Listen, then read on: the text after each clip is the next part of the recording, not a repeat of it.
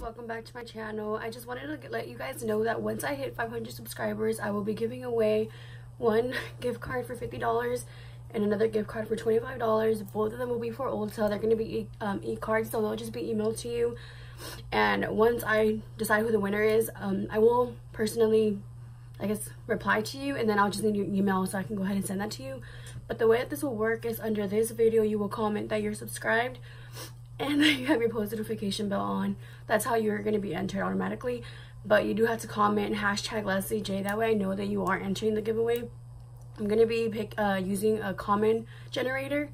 That way they um, it picks the, the comment. And I will post the like the screen recording of when I do so. That way you guys know I'm not cheating. so yeah, that's that. And if you do want double entries, all you have to do is share my... Um, the link to my YouTube channel. Basically, there's like three little dots. If you're using mobile a mobile device, there's three little dots, and you just put share. You could either share it on Facebook, on Instagram, stories, uh, Snapchat, really anywhere. As long as you share it, let me know, and, and it can be just the channel or whatever video you like. That way, just to get the word out, and maybe we can get to 500 subscribers sooner than later if possible if you want. I don't know.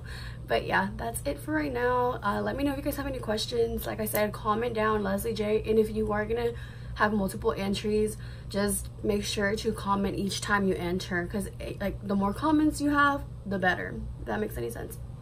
I hope that makes sense. So yeah. Sorry it was kind of quick. I just had to do this really quick because if not i'll forget later. And i do want you guys to know that that is in the run. So yeah. Thank you guys. Um I will see y'all later.